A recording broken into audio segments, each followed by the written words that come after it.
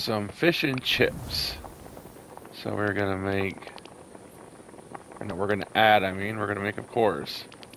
We're gonna add one tuna, which I got at the Glade of Trust. Uh, we're gonna add canola, which I got at the Forest of Valor Goofy stall. Where is it? I know I have one here. Uh, is that it? There it is. Uh, we're gonna add potato, which I got in the Forgotten Lands um, Goofy stall. And then we're gonna add wheat, which I got off the Goofy stall in the Peaceful Meadow.